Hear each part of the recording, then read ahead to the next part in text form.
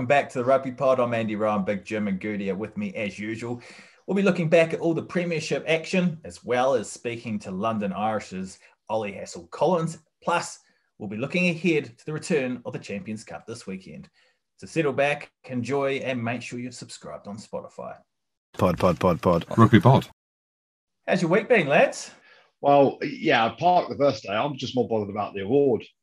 Sports Podcast Awards. I was out celebrating all weekend. We are the greatest rugby podcast on this planet. So uh, a massive thank you to everyone. We said it in our thank you speech. A massive thank you to everyone who voted for us.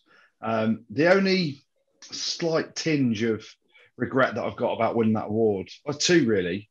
Uh, one, it would have been nice had this mad COVID world not sort of taken over over the last few months, and we'd had a real live award ceremony that we could have rocked up like absolute heroes and had a massive night out again.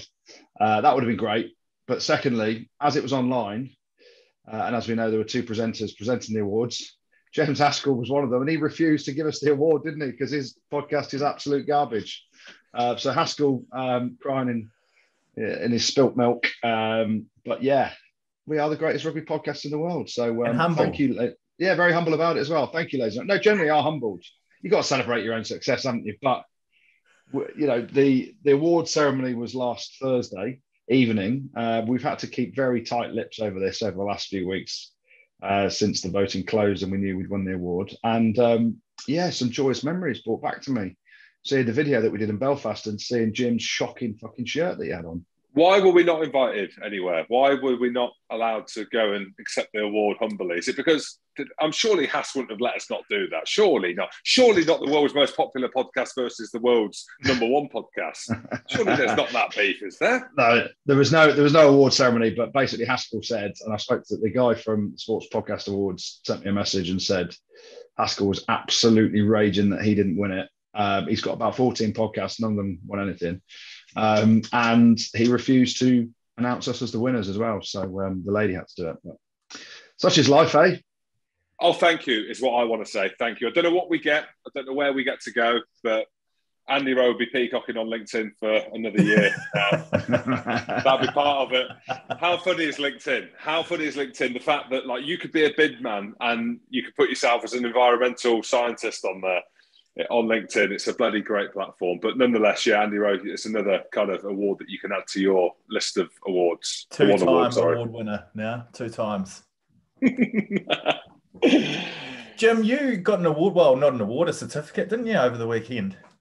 Yeah, I did. Yeah, thank you. It was actually on Friday. I got my motorcycle license from Harley Davidson Edinburgh. Got a sticker. It's on the back wall for the people watching, people listening. Also, wait there, hang on. Please tell me it's the helmet. Oh no. What's uh, that? I got I got a rucksack. I got a rucksack as well. So I got a rucksack and a pen and my boots and my motorcycle. So yeah, I passed. I passed, lads, is what I'm saying. Got my motorbike license. It's gonna look unbelievable on Instagram. That is all I'm thinking the whole way through. Andrew, get you in the sidecar or not? Uh, no, mate. You're having a midlife crisis. Anyone that wants to take a motorcycle test and drive a Harley or ride a Harley, shall we say, at nearly 40 years of age, Jim. I don't like motorbikes, Jim. They're dangerous. And as a father of four, I, know you want your time away from the kids and you want to put some pictures up on Instagram, but that ain't me. I'm happy in my range, mate. Uh, if you get in a crash, you, are probably going to win most of the collisions. So, um, yeah. Andrew, you're bringing it down now. You're making me feel bad now. You sound like that. I'm just thinking, just honest. It was either that, it was either that, or it was golf. And as you know, golf is a sport for white, balding, arrogant males, and that doesn't fit me. That doesn't fit the mold that I'm in. You're, so you're balding. You are balding. No, prove it. Prove it. I'll bend over a bit. I can't. My neck's sore. Are you going to join a motorbike gang? Well, I might set one up. I don't need to join one. I'm going to set up the Hamilton Harley Edinburgh crew, if that's the name. Just sounds cool and edgy as fuck, does it not? When I said just that, but yeah, just call it the melted wheelie bins. That'd be that'd be about right. well, it doesn't sound cool, does it? Yeah, it does. Really cool. No, does it? All right, I will then. Easily convinced and manipulated. But yeah, so big shout out to Edinburgh Harley. They put me through the course, and uh, hey, I'm going to the shop tomorrow to have a look at what bikes I can fit on, what bikes I'm going to get, and it's either that or golf, and I've chosen the bikes for now. We'll see. But Andrew said it's a midlife crisis. I'm not even 40. I ain't through. Arguably, you could say I am halfway through my life or even further past that. But Andrew, goodness me, 50. You were 50, weren't you, at the weekend? no, I wasn't, James. No, I wasn't. You know full well I was. I was 42 in honest years, uh, which is about 26 in Fijian years. Uh, or if you take out the two COVID years, it was my 40th. Let's just say it was my 40th on Saturday. So, um, yeah, it was. I, we won an award on Thursday. It was my birthday on Sunday, actually. Uh, so we went out for dinner on Saturday night. Um, and then Sunday, I, I, wanted to sit at home and watch my good friend Jim Hamilton commentate on London Irish against Harlequins and see him on TV. Uh, but you went to the farm. I went to the zoo. No, the missus. yeah. she was like, "We've got to take the kids out. What do you want to do?" And I went, "Well, let's. I don't know. Let's go to the zoo." So we went up to the zoo, which was good fun. Um, you love animals, so, don't you? You like you are an animal man. You eat a lot of animals. You eat a lot of them, like especially true, fried yeah. animals. Yeah. yeah. Uh, do you do anything else with animals, or not? Or is it just look at them? Uh, I do a lot of work with the Dogs Trust, uh, which there is a go. fantastic organisation. Yeah. Doggy um, style. What's that called? Doggy what? Doggy style. Doggy Trust. Yeah, Dogs Trust. Yeah, yeah. I tried Doggy oh, style. Dogs Trust. How's that? Um, lights off. It's fine. There you go. It's my birthday. Saturday night, went out for dinner. Sunday we went to the zoo and I wanted to sit home and watch Jim Hamilton on BT Sport. And apparently, Jim, you were waxing lyrical about your new favourite team, the Harlequins. Oh, such a pleasure to commentate on and watch. Who the fuck are you, Jim? Like that, you have I turned. Am, I am second voice for BT Sport, commentating on the big one, the big game on Sunday. So it's just backing up the interactions on social media, as you know, Andrew. Um, where do I start? Let's start with that game at the weekend that I was involved in. It was tough, is what I want to say, Andrew. I know you've done a few of them recently. A lot going on. And I looked back at the game. I know Andy Rowe will get us into the rugby a little bit later on, but it was a tough gig because so much was happening. So I went back and watched the game. I missed loads. It weren't like the hashtag always Edinburgh versus the Lions off tube in the studio in Dublin where there weren't much happening. There was so much happening that my head was scrambled. I'm trying to ad lib, I'm trying to hit the names, I'm trying to hit the detail. And I missed a few bits. A Bit scrappy, be honest, a bit out of touch with things. What'd you miss? I didn't miss anything major. I missed some detail stuff around what could have been and what should have been. I missed talking up Tizard a couple of times and some of the stuff that he did. Uh, but anyway, Austin picked that up in the studio with Benny Kay because they're the go outs, aren't they? So uh, it was good. It took me out of my comfort zone that Brentford Stadium is phenomenal. I know Goody mentioned it on the podcast a couple of weeks. Andy Rowe, you went for 10 minutes and then the missus called you home because you're a podcaster and she needs to get you home. I don't know why she wanted to get you home, but she did. But it was, he's married now, so he's not allowed out. I snuck out, but she found out. Yeah, reports were, Jim, that you were outstanding. You used some big words. Um, what big word? I don't know. Someone messaged me on, on Instagram. You're just trying to be nice. You're just trying to be nice, Andrew, aren't you? Uh, no, no, no. Like people were saying, generally, I had some really good comments about you. I'm like, this is fucking weird. Why is my uh, all my DMs being filled up with people telling me how great Jim is? I'm like, how about how about me? I didn't think that. I was very proud of you, James. Um, it was great, and I did have a little flick on uh, last night when I put the kids to bed, and um, you sounded so good, Jim. You should do that more often. Are you drunk still? What are you saying all this for? imagine doing a game together? How good would that be? Well, we'll talk more about the Premiership in a minute, but the Champions Cup round of 16 is back this weekend, and we don't see two-legged ties in rugby very often. Are you guys, are you guys fans of them? I used to love that back-to-back thing, but then actually now making it knockout back-to-back games, and uh, obviously the points differential there. And I played in one of these. I played in the final, the big one actually, a few years back, the uh, the championship final, Worcester Warriors against Cornish Pirates. Everyone remembers it. Didn't see it. yeah. Uh, but it was a two-legged final, so um, we played away first leg and then home second leg. I think I got man of the match in both games, but you know, doesn't really matter what happened. But um, I actually really enjoyed that nervousness around. You, you play week one, you know, and then how many points you got to try and win by if you're at home or whatever. And it's yeah, played in one for Wasps as well uh, against Stade Francais, a knockout game, two-legged knockout home and away uh, to qualify for the Champions Cup at the end of my first year at Wasps. And I remember we beat them at home by two points. I think it was. I got a penalty the last play of the game, a really simple penalty. So um, to, to, put us two points up, and everyone's like, "You're going to have to Stade Francais. You've got absolutely no chance. They'll do you by about 15 in their own patch. And then we went over there and won as well. So I love it. You know, it's really exciting couple of weeks coming up, some massive games. And I was actually piecing together and trying to look forward to the quarterfinals as well, and you know who's going to end up playing who.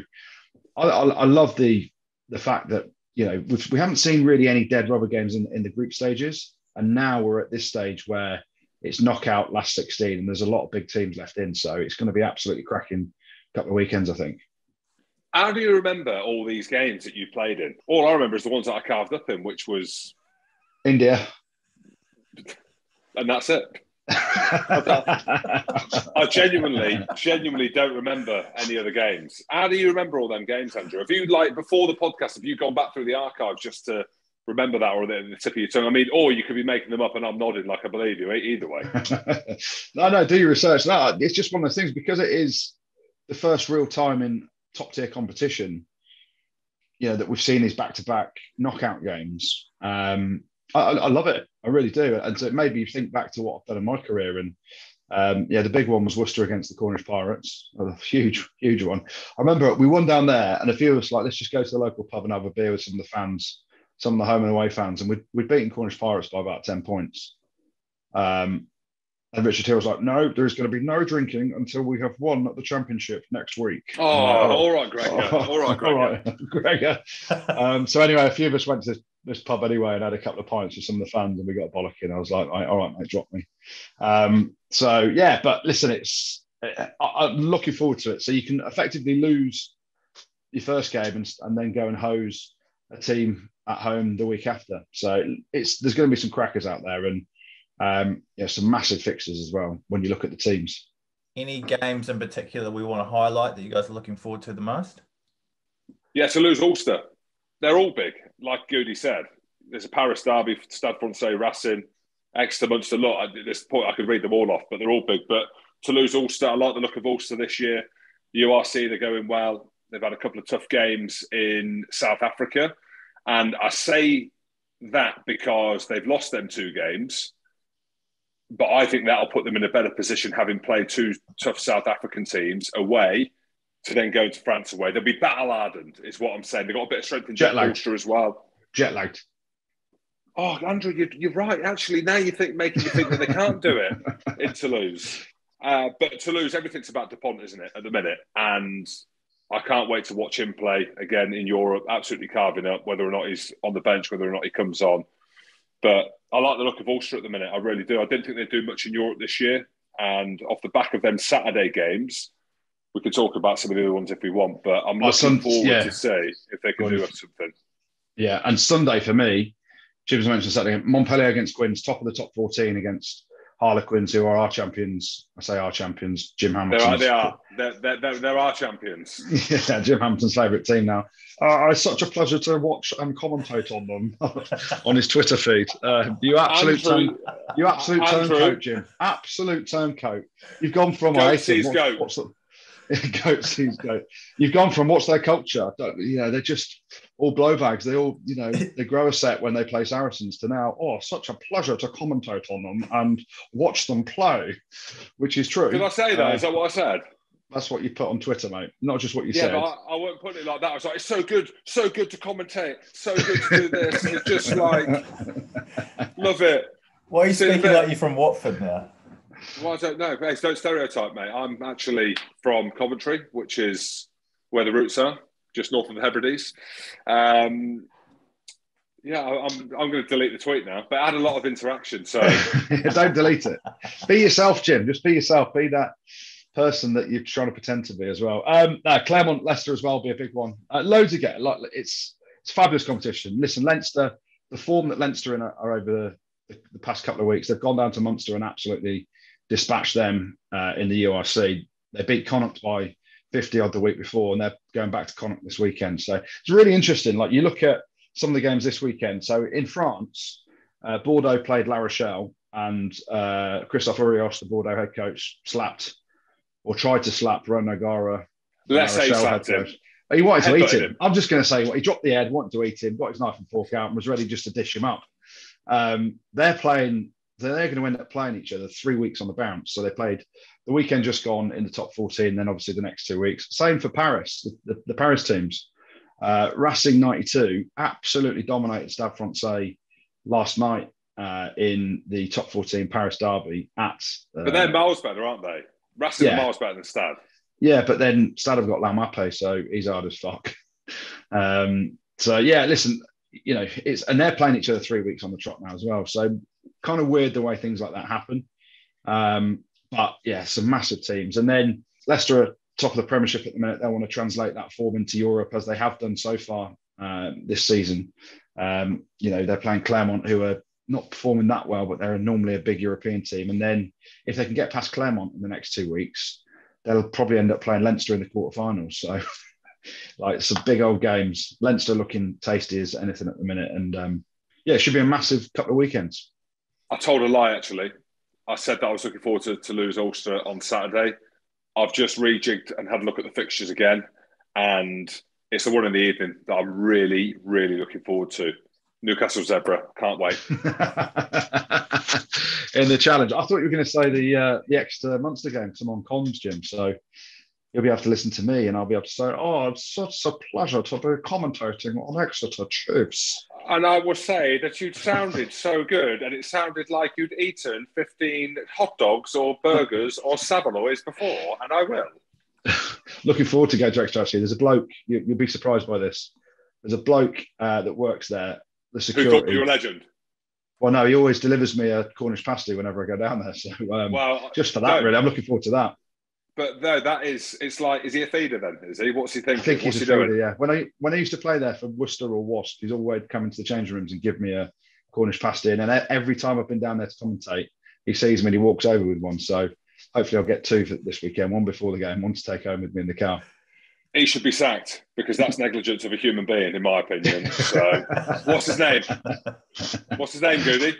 I can't tell you. I can't Dave. tell you. Don't know. Security man Bob. Dave. Security man. Yeah, security man Dave. There you go. All right, Dave. Jim Goody rattled off a few of his favourite memories just before. Have you have you got any from uh, from your days in, in the knockout stages of the Heineken Cup? Two minutes here, two minutes there, right? Yeah, there's a few. There's a few. Been involved in a few biggies. Can't really dig too far into the archives, but I'm going to. Um, great competition. Goody mentioned it there. He also mentioned the Worcester Cornish Pirates, which isn't a great competition, but it is if you're playing in them. But the European Cup, absolutely love it. And, you know, for me, I've accumulated a load of caps. I think I got 49, but uh, let's just round it up to 50 and say I got a cap. So a load of ones, but they were big ones. Um, yeah, like where do you want to go? Do you want to talk finals, semis, quarters? Where do you want? What do you want? Why don't we talk about your post rugby career and the way you foresaw what you were going to go into, and you put yourself in the center of that photo for Saracens to try and make sure that you were stayed current for the fun for the next year. Was that was that planned? You're right, it was, mate. What John Terry. John Terry right there. of genius. That's what it was. I knew I was retiring. I thought, you know what? And there's a funny answer and there's a serious answer because I'm a humble man. And in years gone by, I've just been at the back of pictures, just, no, I don't want to be in. I, I don't, it's not about me. You know what I mean? It's not about me. But this one, I thought, fuck you all. I was like, I am going out on a high here. I have been to the well all this season for Saracens. I played in nearly every game. Let's just round up. I played in every minute of the game until we got to the quarterfinals, until we got to the really important games, and I didn't play. And I got to the final, and I remember being stood on the sideline against Racing in Edinburgh, and I was like, I'm going to be absolutely devoed if I don't get on. And I stood there. Luckily, there was a knock on or something, and I looked at there was 42 seconds to go. And the difference of being on the bench to being on the pitch, well, you saw the celebrations like I just won the World Cup. We hadn't, we just won Europe. But the celebrations were remarkably different. I remember going up and I thought, this is it. This is my final moment to be front and centre. So behind me is Brad Barritt, the captain, even though he's lifting the trophy up. Maro and Owen, you can't even see them. And me and Petrus du Plessis, who's on par with me in terms of stealing a living, we are literally jumping up and down in front of the picture. And that, that went viral, didn't it? Because that was the showcase. That was the the intro to all the games of the European Cup for the year after. So that was my final moment as a rugby player. What you saw that picture was me, the guard down, the man that felt he deserved that moment. And that was it. I never, I have never stepped on a rugby field again. That was it. Ironically, in Edinburgh, on me back, absolutely bollocks having played 40 seconds. And that was it. That was, that was the final hurrah. Well, a question on that, Jim. Tell us about the night out then, because from what I hear, it was the post-match celebrations that made you retire from playing the game because you went that hard that you got an illness that then made you not being able to play rugby ever again. You want to speak to Billy Vunipola? We'll get him on at some point and talk about this because he used to call me the Beyonce of Edinburgh. In fact, I might have called it myself, the Beyonce of Edinburgh. when you go out and get absolutely mobbed, so you had to hide. So you can imagine the night out. We're in the jam house. Everything was paid for. I don't know if you can say that because of Saracens, but I mean, we all put into a kitty and it was all free off the back of that. And we're at the Jam House. Me and Kelly Brown are on stage. Genuinely, I feel like I'm a red hot chili pepper. I am flying. Poor Beck's out, heavily pregnant with the twins. Massive bump, belly button popping out everywhere because she's close. And I'm living the dream. Rockstar Beyonce's in town. Get back to the hotel, three, four in the morning. And it was big, but it wasn't like Belfast big. It was big, but not Belfast big. And I couldn't get out of bed the next day thought I had food poisoning, thought I had alcohol poisoning, and that was the start of the illness. And the retirement came off the back of that. And I remember getting the train back the next day because we had extra on the semi final the Saturday after. And I couldn't even, I'm on the train, I'm lying by the toilet. I mean, you talk about rock and roll, I'm lying on my back by the toilet. Billy keeps walking past just saying, Beyonce, what's wrong with you? I'm like, I've been food poisoned. S- someone's poisoned me food, something's happened. And my last memory of that weekend and everyone's memory, because they've all got videos and pictures of it, is me in the back of me Mondeo. Kelly's missus is driving me to stay at their house because I'm that ill and my head's hanging out the window and everyone's shouting Beyonce's going home. so what you're saying is you went a little bit too hard and embarrassed yourself, right? Because you can't handle your, your, your piss. Beck, absolutely raging. Absolutely raging. But I went out on my sword and I went out with a story and I went out on stage the Red Hot Chili Pipers, as they called me. Let's have a look at the Premiership now. Then Sale v Saracens. That was a bruising encounter, wasn't it, to kick off the weekend? Should we talk about Al Sanderson's hair first or not? He's just he's succumbed. He's just like that's it. It's similar yeah. to me. He's got a he's got a similar hairline to me. Like that's like when I look at it, it's like a little bit thin. It's like a little bit at the back, but nothing too bad. And he's just gone. Forget it. It's going. He looks hard as nails. That's what all I picked up from that game. Yeah, I'll tell you, Jim, you've got a lot more hair than he had because uh, it's been going thinner and thinner. Another compliment for you, Jim. Yours isn't anywhere near as bad as what his was. And then fair play to him, he's just picked it, and now he looks like a cage fighter or something. If he tells you you're playing shit, you like you, are like, yes, boss. You'd absolutely shit yourself because he did look mean. But yeah, the game uh, itself, it was always going to be a bit of a war, wasn't it? You know, the way Saracens bring their physicality. You know, you look at Sale, the South Africans they've got in their team they don't hang around, do they? They go looking for contact like you wouldn't believe. Um, and there was some big moments in the game, weren't there? There was obviously uh, the decision around should it have been a yellow card or a red card uh, for Davis on Faf Clerk? Um, you know, but Saracens were good. Like they played this brand of rugby, 41 kicks um, from hand for Saracens in the game. So basically, it's a kick every two minutes. Now, if you ma- imagine the ball's only in play for 40 minutes a game, and that's really high, I think. Uh, so it's probably like ball in play times are probably normally around anywhere between 35 and 40 minutes.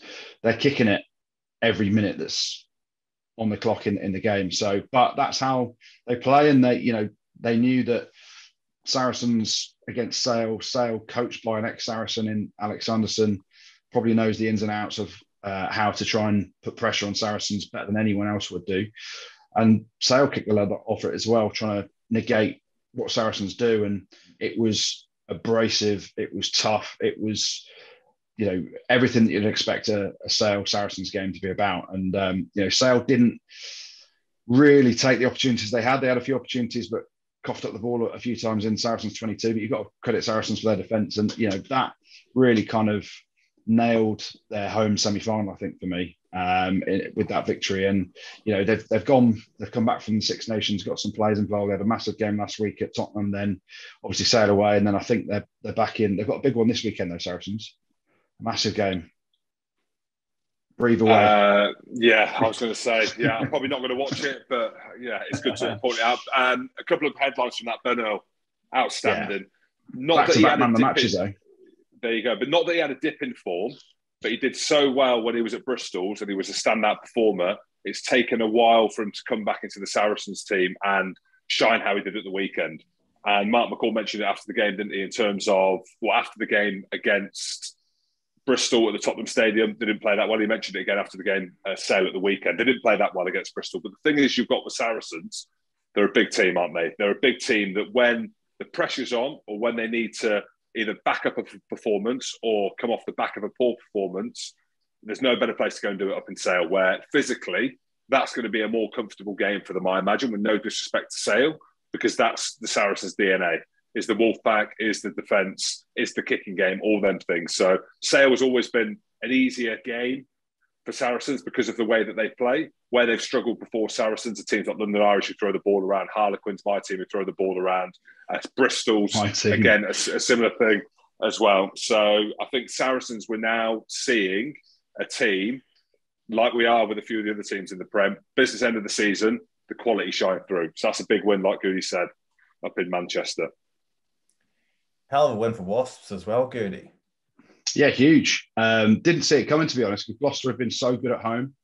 Um, Wasps have been patchy, you know, really inconsistent. When they're good, they're really good. When they're bad, they're, you're looking at them going, geez, you know, you, you wouldn't expect the under 15s to play that badly sometimes. But, and they can do that in games, both be sublime and ridiculous. Um, the interesting thing, a few eyebrows were raised on the selection of the Wasp team. Dan Robson was dropped to the bench, um, obviously an ex-Gloucester player as well, but um, Will Porter, uh, who's been coming on at nine for Dan Robson, has been playing really well. He started and got picked ahead of Dan Robson, um, and then Dobby, as he's known, Dan Robson comes off the bench, uh, slots a wonderful drop goal. We saw George Ford do it earlier in the season, didn't we? From that goal line dropout, catch it, bang. You know when Dobby hit that drop goal, Goody, do you think Yeah. because he would have been pissed off, do you think he's gone, fuck yeah, as he's kicked it through or not? Do you think No, he's actually no part of that? No, I don't. I don't think there is. Like he, he he's a uh, you know Dobby uh, Dan Robson uh, as well as other people. He's a lovely guy, isn't he? Like really nice guy, and he was pretty honest and went, "I haven't been playing that well." Um, I think the England thing may have affected him a little bit. Um, you know, he had an injury earlier in the season, but Will Porter has come on and done exceptionally well for Wasps um, over the last few weeks, so deserved his shot. And then Dan Robson's like, actually, I've, I've got to play well to get back in the team here. And Dobby is a, he's got he's got the drop goal in him. I think he started out doing drop goals for fun and trading, just messing around. And you know, you see those players do them all the time from the halfway line. You sometimes see forwards giving them a crack. Um, but what a strike that was! He's given it full beans, and you know to do that at your old club as well. I saw the celebrations when Gloucester had a line out five meters out to try and win the game. Um, you know, for the, if they've, that, that we know how good their driving line out has been. They scored a driving line out try at the weekend as well, and Vaea Fifita gets up, steals it, and they boot it out, and the celebrations were pretty well. But yeah, listen, Wasps are yeah they're trying to get in the top eight. Uh, there's an outside chance, I think, with the way fixtures are going to fall, that if they win all their games, they may still make top four. Uh, very, very, very, very slim chance. Yeah, I know. Very, very slim chance. But because a lot of the teams above them all play each other, um, if they can win all their games, and they've got a lot of boys back fit now. So a dog who's fit, uh, Launchbury's fit, Malakai Fekitoa's fit, Jimmy Gopperth's fit, Jack Willis is fit, playing well again. Bar- Barbeary's Willis, fit yeah. yeah, you start naming, and if they can win all their games, that they could get to, I think it's 70 points. Um, and you just never know. But I think they'll just be focusing on top eight and, um, you know, trying to sneak first and foremost past London Irish, who they've got to go to in a few weeks' time. And Jim, I know you said you didn't pick a few things up at London Irish v Quins, but it was hard to miss Marcus Smith. He was uh, settled right back in and playing well after Six Nations alongside Danny Keir, wasn't he? In the second half, he was good. Not that he wasn't good in the first half, but London Irish, I was really impressed with. And me and Goody had a bit of chat we love our ruggers about London Irish and the way that they play. And Harlequins, two similar teams. Obviously, with Quins, you look at their team on paper, it looks like they were better than London Irish in terms of the quality that they've got. But they've been away. Dombrandt came in as captain. Marcus Smith was back at 10. Danny Care's on form. Joe Marler was back in the team as well. Uh, Esterhuizen, quality player. Um, Agazi, he's ridiculous, isn't he? Oh, he- he'd be, he would be like, as in, if I'm a Premiership manager, a player like him is your number one choice, as in across any team. I can't mm. think any team in the Prem who wouldn't have him as number one. What he does is just every week. It's not that he just does it every now and again, making game lines, scoring tries, physicality, rocking up. I'd have him in every every single day of the week. But also Rona for London Irish, very similar yeah. in terms of what he yeah. does as well. So quality game. Again, I spoke about at the start of the show.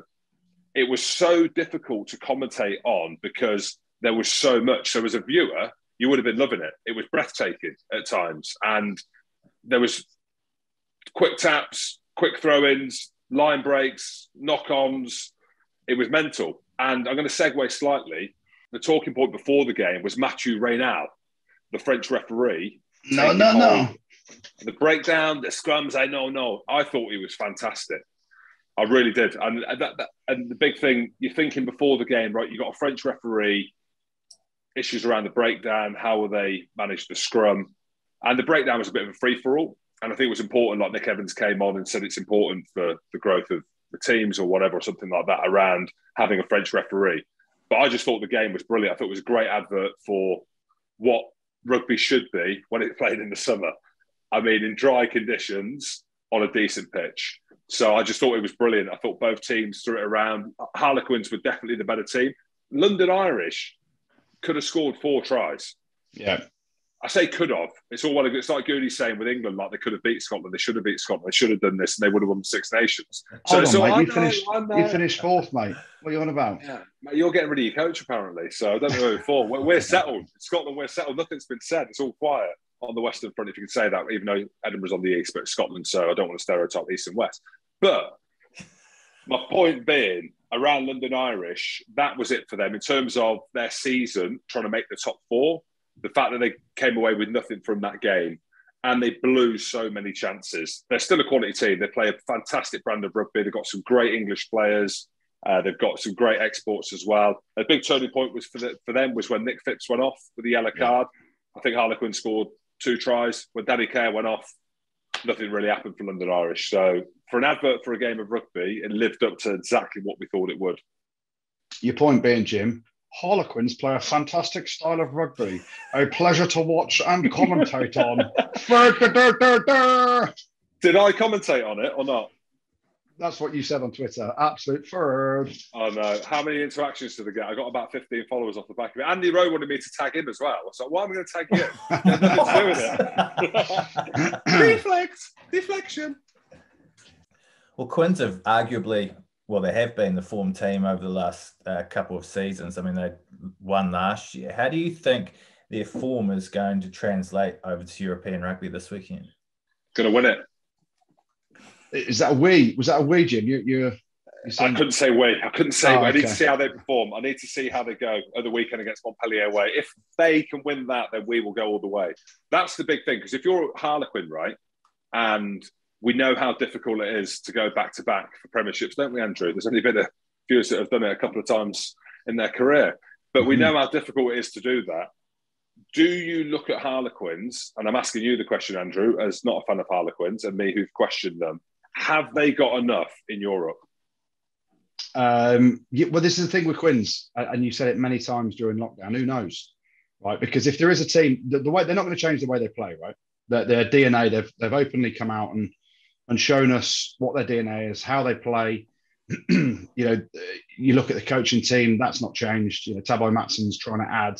The only thing I will say that you could have questioned them on last year was defensively. They always had this thing of if we concede four, we'll score five, so it doesn't matter. But when you get to Europe, you can't necessarily go that way. Tabai Matson's trying to change their defence. They they were coming up and out on the edge, weren't they, at the weekend, and were nearly getting caught out. I think that is something to do with how they're going to try and defend in Europe as well, where you know if you let a team get momentum through just sitting off and soaking up tackles like Montpellier can, then they're just going to take you apart in terms of the close quarter stuff. So where they're trying to get off the line, they're going to make mistakes. When you fly off the line, like Quins were at the weekend, defensively, which is something that they've added to their game, I think over the last sort of month. Um, in doing that, you are going to make errors at times. Um, but also it's the risk reward. So you're going after teams you're going after people man and ball, and you will get big shots, you will get intercepts, you will get this. So uh, they're trying to improve their defence, no doubt. Their attacking game is phenomenal. Um, you know, when you've got Marcus Smith, you've got players like Cadan Murley on the wing, who I think is ridiculous. Um, I really do. Esterhuizen in the centre, he can bring physicality, but we know the Quins way, the offloading game, Dombrandt coming on short lines, getting the ball out the tackle. That's the way they play. Danny Care sniping. They ain't going to change that. What they need to do is, you know, be less porous in defence, and that comes with that line speed that they're trying to work on um, and see how they get on this weekend. But yeah, uh, can they can they go on and win Europe? Possibly. Um, you know, the brand of rugby that they do play, ball in hand, is hard to stop at times, isn't it, for any team? Um, and they've got compo- different components of, you know, they've got a decent set piece as well. Obviously, Joe Marler running the scrum there. Um, but it's how can they handle Can they handle a team like Leinster in how they play, which is effectively Ireland? Can they handle a big team like La Rochelle or a Montpellier or someone like that? uh, in terms of the, the, physicality and the power. Well, they will be okay in attack, but defensively, that's the question mark. And then on the other one, the statement that was made, Danny Care. And again, I know there's a little bit of hysteria. Goody, you've spoken about him as well. Austin made a big statement. Second best scrum half in the world behind Antoine Dupont. And Eddie Jones ain't giving him a sniff. I don't want to go over old ground, but he's so important, isn't he? Apparently, he's had his lid done as well. That's the rumour when I was in the stands with the people. He's had a bit of his lid done he's had, besides. He's had a lot of it done. He's had it. It's not the first time either. How's he hit it? How's he hit that? Because it because it's just it's just it. the front bit, sir. It's just the front bit, sir. You don't need to hide it. You can just go and get it done, and it will just grow back as long as you don't have to shave your head. Shave your head, take your boots off, put your boots back on, and off you go. Bend over, boots back on, boots on my hands, tie around your neck. Well, let's finish off the premiership then. Uh, Steve Diamond described his side as pathetic, embarrassing, and inexcusable in their 45-10 home defeat to Newcastle. What have you guys made of that? bit harsh from a consultant, is it not? Don't think he's going to be a consultant for long, Jim. He's announced. His... That's what he is, though. That's yeah. what he is. I did see Official that. title is consultant. That's what I saw, and I thought, my God, that's a bit harsh. But look, he is harsh. We know that. And the saying goes, without being harsh, I'm going to be harsh. Can't polish third. I said it. You can, like, I, I know you shouldn't be getting your pants pulled down against Newcastle, and everything you're hearing out of Worcester is that that they had they had the same food poisoning as I had after that final in Europe. So if they've had that, they ain't feeling good. But I mean, he's calling them out. That's what he's doing, isn't he? He's yeah. playing tough love. He is calling them out publicly, and he's trying everything, isn't he? Like, why not? He's he's a consultant, and from what I'm hearing, he's told lads if you don't want to be here, there's a hooking door. You can get you can get out and get straight on the M5 and go and head down to Cornwall if you want. So you, I know there's no relegation battle, but have they thrown the That's the point. That's that's the point for me, and I've said it before about Worcester. Um, I'm looking at it going because there's no relegation. Where's the desire?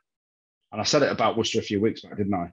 Where is the desire? Well, here's the th- facts. You, have taken 45 points at home to Newcastle. Steve Diamond, who is the boss next year, is a consultant now. He's the DOR next year. He's the gaffer he's trying to bin players off, and there's players that have left. You know, he's trying to reshape the squad.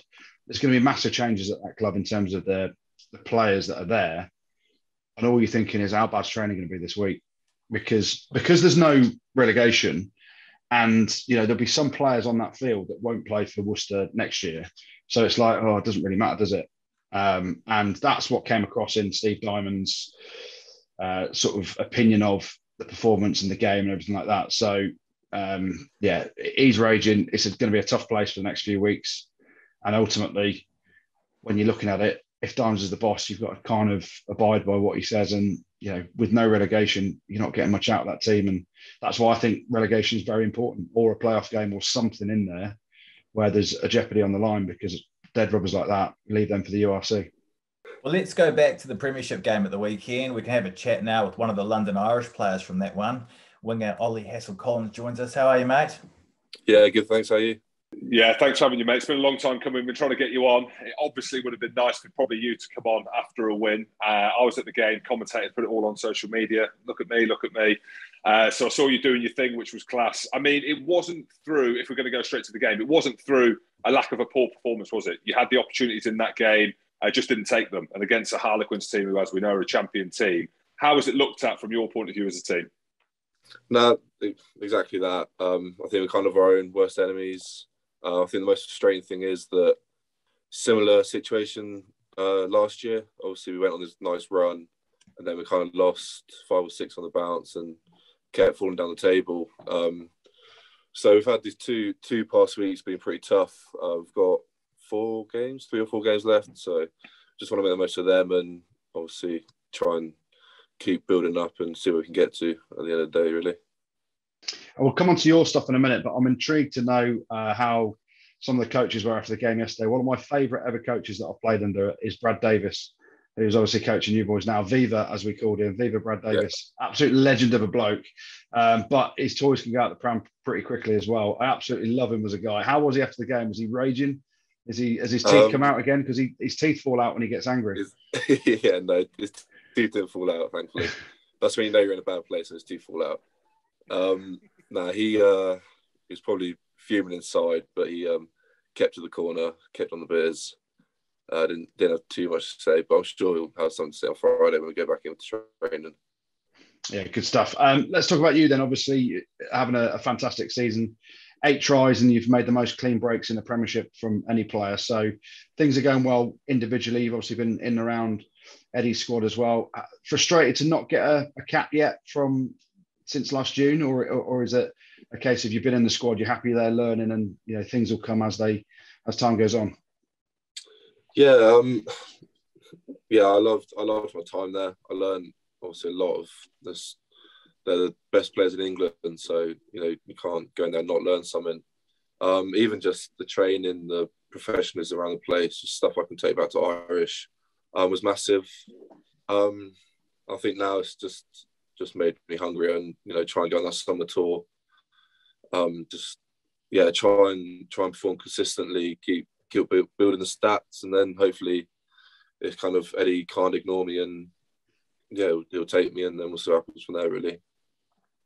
If in doubt, though, mate, just move up to the second row. That's where you used to play, wasn't it? yeah, it was. Yeah, yeah, back in day. I don't know if I'm tall enough yet. Oh, I reckon you'd be all right. What's the crack? You're not keen for that? Was it just your height, or were you thinking? I'll do, I'll do back row. I'll do back row. I don't about second row. Exactly. Mate, stay out the forwards. When it, the size of a horse, mate, stay out the forwards and just run over. That's where the money is. People. Mate, the second rows get paid the highest in the team. They're, they're the number ones, and rightly bloody so, the most gifted. So, Ollie, you're missing a trick there. Not that the wingers don't get highly paid, but the second rows, they're the ones. I thought it was prop. Uh, yeah, you might be right. Tight head props and second rows are the one. The poor tens. hookers. I mean, tens, yeah, tens as well, mate. Poor hookers. Being called a hooker, right? Being called a hooker and then getting the lowest paid in the team. Anyway, we're not here to talk about money. That's not your, why we're here, Ollie. but we segue. True. uh, and so th- this week you got a week off, right? Um, there's yep. no game uh, in the Challenge Cup for you guys. Uh, of the squad, it's, it's really hard actually. I've been involved a few games and a few times when you know you've got a week off and you've lost that last game. What are the the boys like? Are you going away on holiday? Are you you know going back into the club to train even though you've got the week off? Is there a bit of a mix of, of emotions? Yeah, a few of the boys are going away. Um, we've got training uh, Friday and Saturday because we're not sure when the game is yet. It's either a Friday or a Saturday game, so I think they're just preparing for that. Um, but I think I think the week off's probably needed um, just to kind of recharge, reset. Obviously, our last our last week off was Christmas time, and then in the Prem. Um, so I think yeah, I think I'll do the boys some good to have some time off, have some family time, get in the sun. Um, yeah, just recharge. Any more tats or not? I've seen there's a few tattoos, and then I've actually read somewhere here that you've got a Harry Potter tattoo or something on your arm, have you? I think I'm going for like the kind of like a random look. I don't really have like a theme going on. Um, but yeah, I've got a golden snitch on my arm. I don't know if you've seen mine, mate. I've got a Superman tattoo that at the age of 24, it looks sick. Now I'm 40 years old. I'm looking at it like, what the hell? So be careful, is what I should say around tattoos. and also, yeah. apparently, apparently, I'm friends with J.K. Rowling or Joe. So maybe, hey, maybe I'll get her autograph when you can get that signed. Top of the yeah. back or something. That looks sick. Goody, what do you reckon? Would you get that done or not? Mate, I've uh, I've got literally no tattoo. I've got loads of body space for tattoos, but I haven't got one tattoo on my body. It's just not me, mate. And seeing your Superman tattoo every time I see it, Jim, I'm like, it, it looks like Batman now. It doesn't even look like Superman. Excellent. Oh, yeah. Well, talking about movies and stuff, I know you, you mentioned the snitch there um, in terms of a, a, tattoo. I'm hearing your nickname at the club is the Grinch. Um, do you want to tell us about that? Um, there's not much to say really. Kind of. So I did the ACE program, um, coming up through that, and then so the year the boys above me, um, just gave it because apparently I look like him. Um, and then it's kind of they got signed, and then I got signed, and then they kind of carried on through the first team. Um, but there's not much to it apart from that I look like him apparently. Who, who branded you that? Uh, it's Jack Cooke, Jacob Atkins, um, those guys. Mate, you're flying way ahead of them now. So who, who are the mugs now? Eh? yeah. I like it. Is there? There's obviously you know a good young vibe there. The likes of, you know, we mentioned before. Arundell, obviously Tom Parton, Dolly Parton, as Jim calls them at the back. Yourself, yeah. the back three players there in the backs. There's a lot of youngsters coming through. Um, it's it must be really inspiring to, to, to play together. But also, you know, I know Waisake Naholo was there for a bit and he didn't really play too much. Did you learn much off him, or was it a case of he wasn't really there too much to learn off? Yeah. no, I did. He was always, even though he wasn't kind of playing, he was kind of on the touchline, um, just giving me little instructions here and there when he could, just in drills and in the 15 on 15 kind of stuff. Um, and even just dropping him a message, he was he was so easy to talk to. Just kind of asking him if he could go over the game from the weekend, or I know what what do you think of this clip? It's just um, yeah, he's there. He's like a nice nice tool to have, um, really just to go to. Same as when I was there with Topsy um, obviously a legend of London Irish and and rugby really. Um, so he was nice to have as well. Similar similar thing, kind of being able to go to him and being, oh, what do you think of this? What what could I have done? Um, so yeah, I learned so much of both of them. And what about you, young lads, as well, then, Ollie, in terms of looking at players? And there's a lot of them. I can say this, you might be a bit young, but I'm sure you probably do know the past of London Irish. Unbelievable academy, loads of young players coming through but then they tend to go to the likes of Quins or Saracens and, and these teams. Is that spoken about? And I suppose now it's a two pronged question because you're now building a team that really, on its day and on paper, could potentially be in the top four for the next few years going forward. Yeah, like we said earlier, kind of the goal is to all be able to play together in the same team, like, like having a whole 15 of. I think Northampton chucked one out, didn't they, earlier, whole academy 15 or English 15. Um, so that I think that would be that would be quality for for us and for the club. Um, and yeah, like I said, we've obviously had those past players have kind of come come through and then gone. But I think, yeah, we're building nicely, and we've all. I think the coaches are keeping us all happy, so we're we're enjoying learning, playing together, um, and yeah, the vibe the vibe's great at the at the club. All right, Ollie. Well, thank you very much for coming on the show, mate. Really appreciate it. And uh, best of luck when the season gets back underway for you. Cheers. Thank you. Top man. Yeah, yeah. Uh, mate, I commentated, and you, would have seen it at the weekend. He is massive for a winger, six foot four, the legs on him, the quads on him. When I saw him, I was I was kind of taken aback at how big he was as a physical specimen.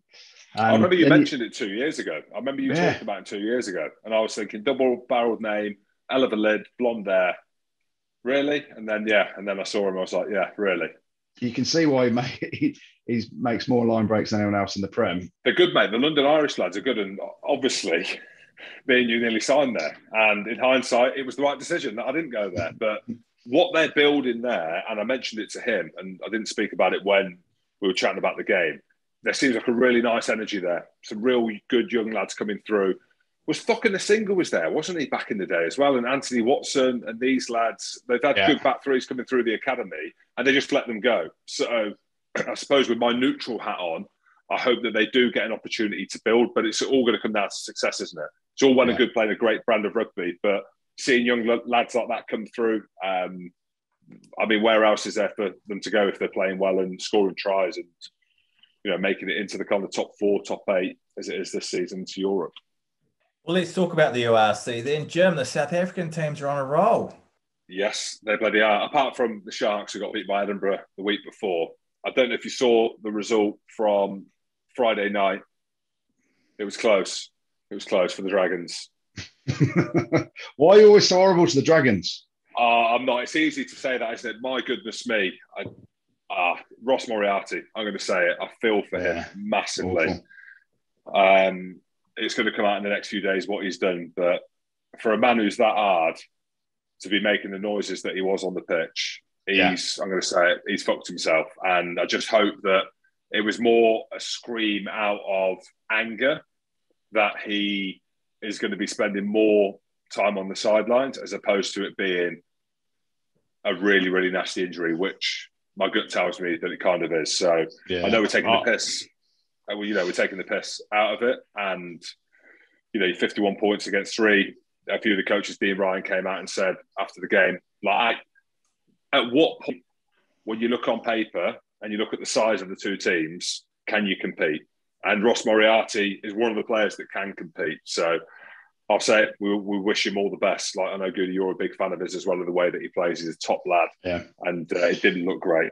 Yeah, he's, he's hard as anything. Nice guy. Um, yeah, I've heard it's a pretty bad knee injury, so hopefully he can recover pretty quickly. But this is the thing, and I said it before around uh, the South African teams. The way their season has always been kind of worked out, it's all based around uh, the Rugby Championship, the Springboks, and when they play in Super Rugby. So we've obviously seen Super Rugby start over in Australia and New Zealand over the last few weeks. These guys are used to playing this time of year, right? So they they go sort of March, April, leading into you know we're seeing all these big South African teams now playing a lot of their international stars because they're building up to the June internationals, aren't they?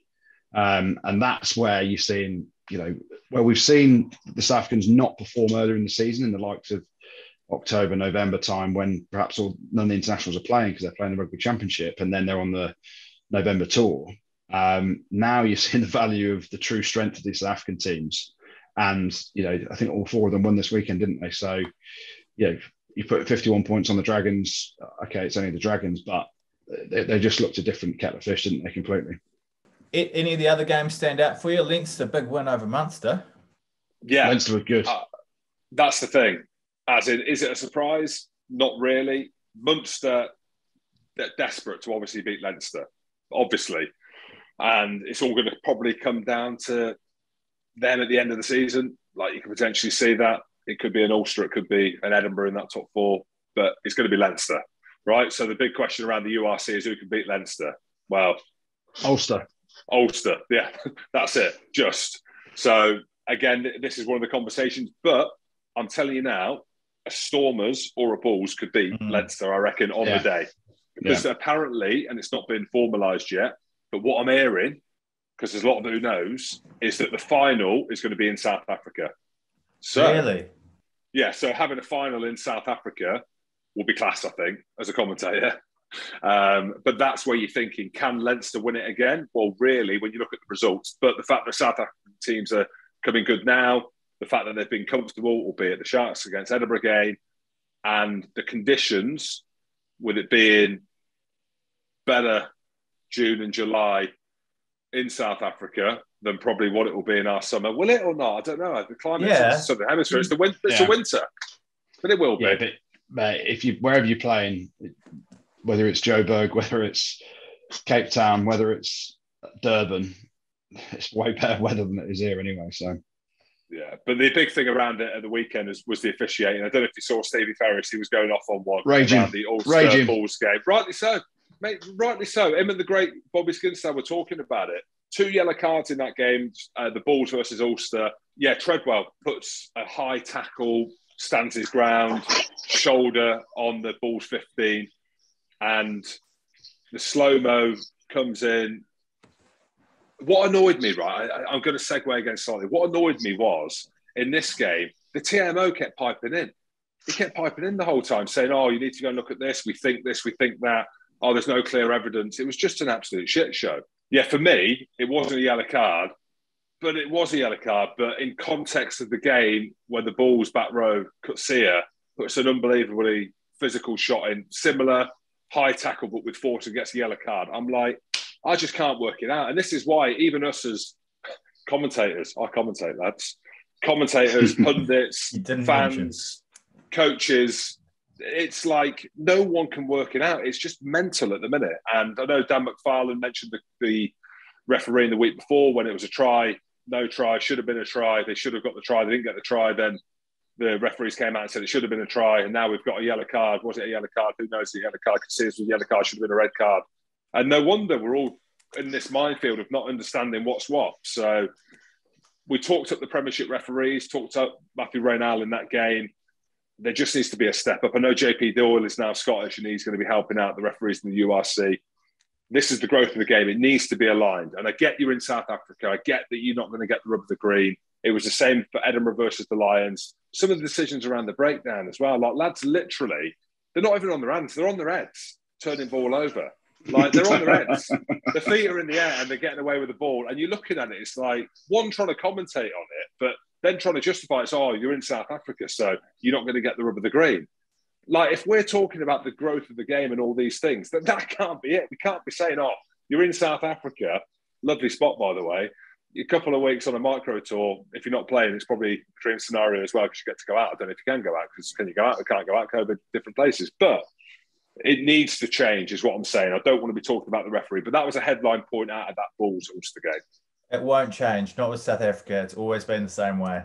Always been. The oh, same. oh, oh here he goes. South African here refs he in is. South Africa since the dawn of Here time. he is. You were The complaining Kiwis. about it for years. You know, in Kiwis South there. Africa, there's a lot of South African fans who don't support South Africa. I don't want to get political. They actually support the All Blacks. Yes. That's There you go. they're That's, That's all he said. Hey, they, glorious supporters. There's nothing wrong with that. Speaking about South Africans, there's a few rumours floating around with a few of their players moving. There are, Andy Rowe, there are. The biggest of the big and the smallest of the small. Uh, Lood de Jager, the biggest of the big, massive second row. Uh, and the smallest of the small, Faf de Klerk, the other end of the height spectrum, uh, both off to Japan from Sale Sharks, from what you hear. They're both leaving. I'll be sad to see Faf de Klerk head out to Japan. Um, not because I don't want him to earn as many yen as possible, because he deserves to, but he's been brilliant in the Premiership, hasn't he? It's where he came over to the Premiership at Sale. Don't think he was anywhere near South African setup, and then he's obviously exploded in terms of form at Sale. His hair's gone everywhere. His hair's got blonder. He's got better and better, and he was one Came of the on best pod. players. He came on the podcast. Yeah, I, I got him down at Twickenham as well. Interviewed him down there pre-match. Uh, lovely guy, um, but yeah, I've heard he's off to Japan to pick up a lorry load of yen, and rightly so. With no disrespect to the Japanese league, and I've only watched a little bit of it, but speaking to the lads, they ain't going for the ruggers, are they? They're going for the yen. I think the yen's a big factor. Exactly. I'd, I'd love our currency to be called yen. How shit does the pound sound? You call it the yen. Um, It's anyway, What's worse? What's worse, Jim, is the Scottish pund. You can't use those more. notes anywhere. The Scottish pund, you can't use it anywhere. well, you can't, Andrew, if you've got the green ones, the hundred pound notes that you knock about with. No.